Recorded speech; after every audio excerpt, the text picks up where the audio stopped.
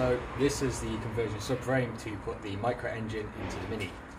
Uh, everything has been welded on it, uh, apart from this rear bar and a couple of seams on the back, which I can't get to very well because of the jig. Uh, to confirm the location of this bar, we need to get the subframe back in the car. We also need to do that to confirm the location of two extra bars, one that goes here here, and from this to there. So first thing we've got to do, remove the subframe from the jig.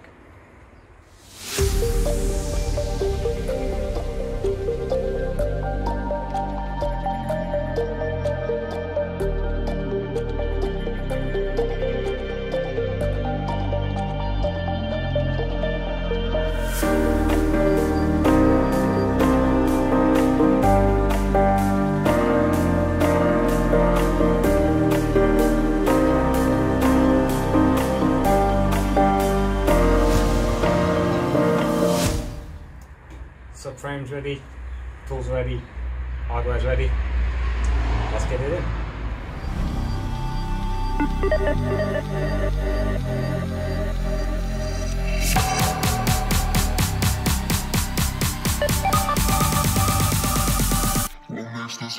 Festival?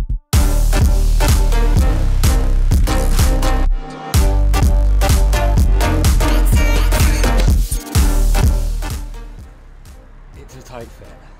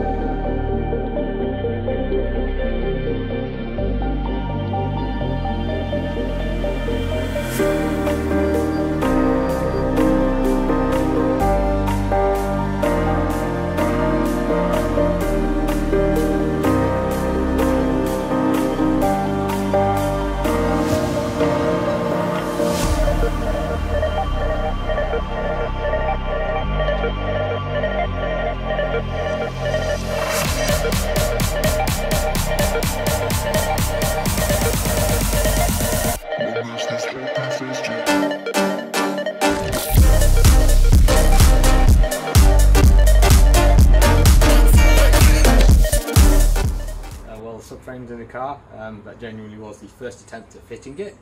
It's snug, but it's in there. So uh, now on to getting the engine ready to go into the subframe. So this is the Mini's engine. It's a CG10DE from a K11 Nissan Micra. I believe it's used in a few other cars as well, but this one's from Micra. Um, to get it ready to go into the car, there are a few things that we need to do. Uh, the first is because the subframe design uh, of, that's in this car, the sump has had to be slightly modified. That's required this notch to be taken out to miss one of the lower bars. Due to the capacity we lose there, this section got added, which brings the bottom of the sub down by about 20 mil to get the capacity back. Uh, I believe this has lost about 400 mil, that's gained about 600, so we actually got a bit more capacity, which is always good. Keeps engine temperatures down, on the service life, that's always a good thing. Fortunately, I don't have any video of the sump being made. Uh, I this was done over a period of weeks and resulted in uh, numerous attempts to try seal it. Uh, process basically cut it, build the necessary plates, weld it, fill it up with petrol, find where the leak is, empty it of petrol, let it evaporate, come back to it the next evening, try and weld the holes up, and keep repeating the process until eventually you get to the point where it doesn't leak. This sump has been tested, there are now no more leaks, and so we gave it a quick coat of paint to protect it. Well, the next steps uh, that we have to do to get this engine ready is to refit the water pump. In the process of building the subframe, this engine was tested in it uh, multiple times in that subframe. Uh, due to when this project was started, unfortunately I didn't have access to a lathe to build some of the spaces that were required for the jig, and so to keep the project progressing, the engine was tested in the frame without 100% knowing where its final location was. It resulted once I built later built the frame that the engine was actually back too far by about half an inch, resulting in the water pump hitting one of the strut frame towers. Uh, to get around this problem temporarily, the water pump was removed. However, that has since been fixed. The engine has been leaned forward and brought forwards fractionally, and the water pump now misses the tower. So I'm now best in refitting refitting that pump to finalise its position. The next step, once this is ready, is to get it back in the car, finalise the engine mount positions, and foot weld. It's really important to get your surfaces clean before putting uh, new sealant on. So I'm going to use a Stanley knife blade to scrape off the old sealant.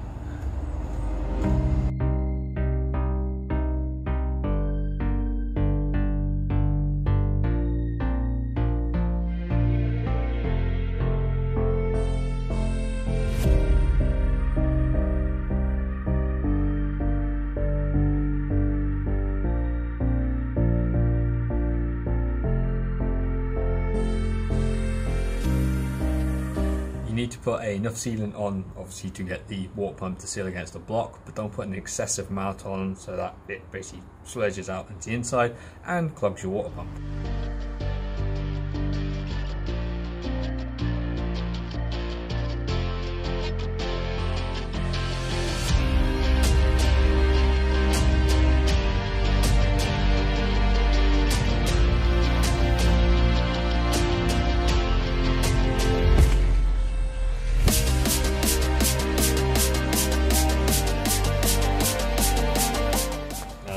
To absolutely these up. Um, they've got a very low torque wrench setting of only uh, five foot pounds. So we're just going to snug them up with our ratchet, and uh, then we'll use the torque wrench just to check them afterwards.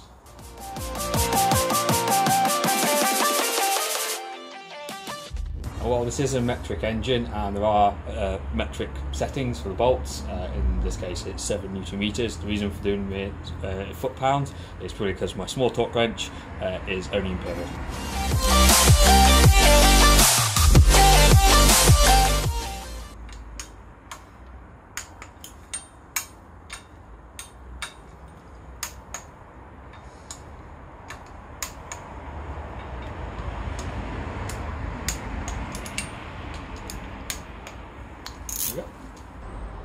The next step is to get the engine back into the engine bay.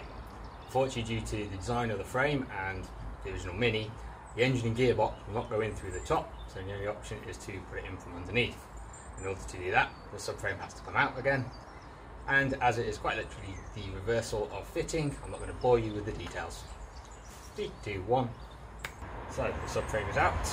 Next is to remove the engine off the engine stand and lift that into the engine bay as that won't go in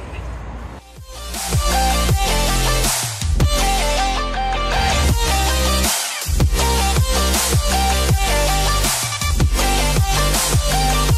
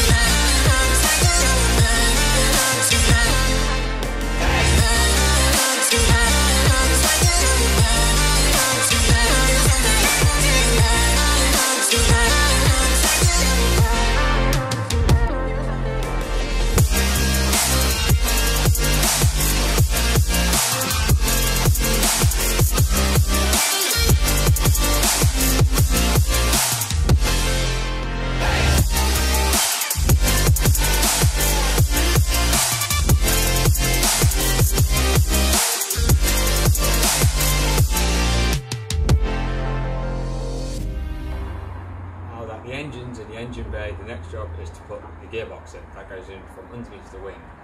I'm not going to bother putting the clutch or the flywheel in at this point because I know this engine gearbox is going to kick out. Uh, they just make it more difficult to fit the gearbox. They're stock items that are actually originally from this engine, so I know that they're going to fit.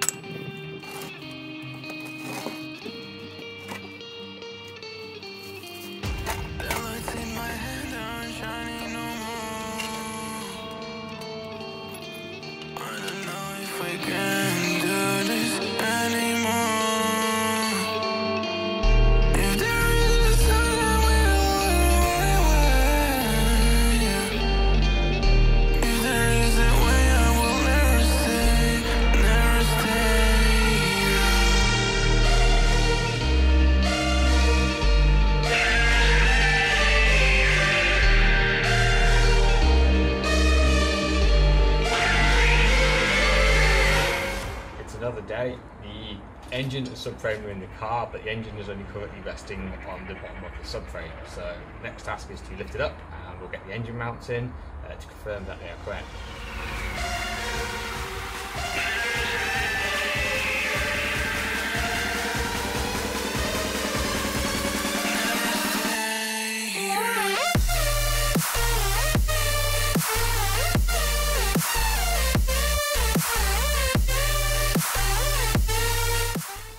Time I'm welding in captive nuts.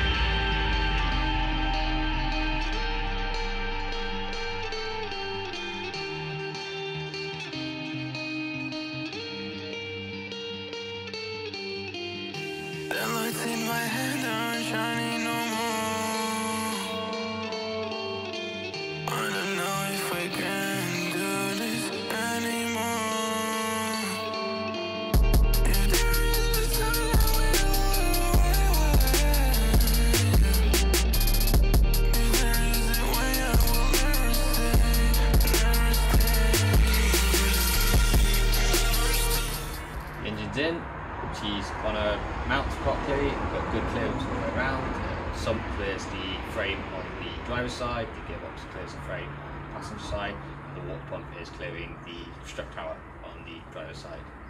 I'm going to end the episode here because the next step is to take each one of these engine mounts out and weld them up fully, but there's a bit more involved with them because they double up uh, for another mount of something else. The passenger side is for the radiator, the driver's side is for the alternator, and the rear one is for the gear linkage. I've just finished packing up. As you can see, it's gone dark now. Uh, thanks for watching. If you want to keep up to date with the progress of the build, uh, please subscribe, or you can follow the link uh, to the build thread on the mini forum. Link is in the description below. Hmm. Empty engine stand.